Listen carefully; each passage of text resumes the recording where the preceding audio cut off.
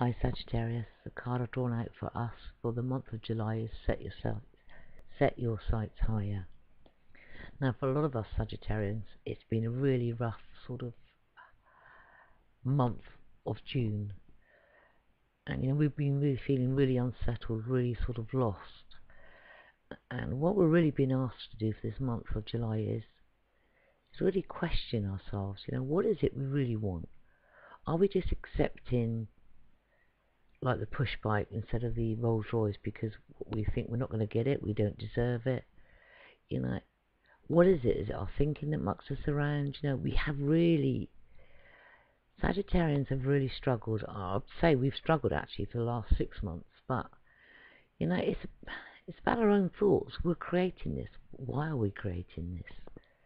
You know, it's about us having faith and belief in ourselves and really sort of setting our sights higher.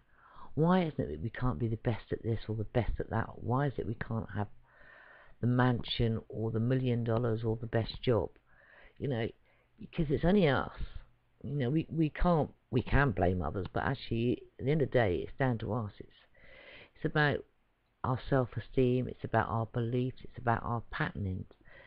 And you know, this is what this has been about, this first part of 2012 for us Sagittarians. It's about looking inward, looking at how we think, how we feel, how we react, looking at our belief patterns, looking at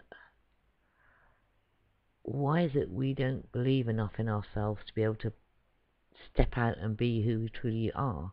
You know, Sagittarians, we're the teachers of, of the zodiac. You know, we're the wise ones, we're the old crones, whatever it is. But a lot of us don't set our sights high enough for that. We just we settle for less all the time. We just settle.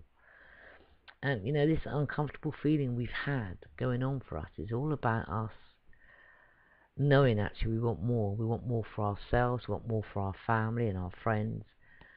So it's about, you know, July is again still going to be an unsettled month for us, but it's about going inwards, Sagittarians, and really questioning your beliefs.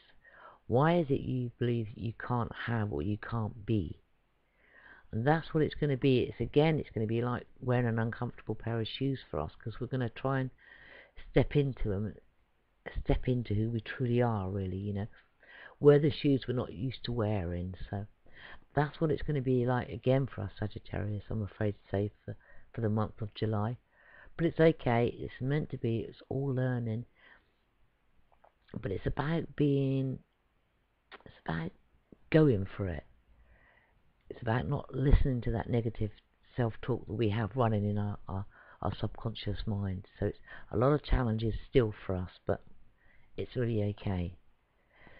Sorry I wasn't around last month, but life sort of got in the way.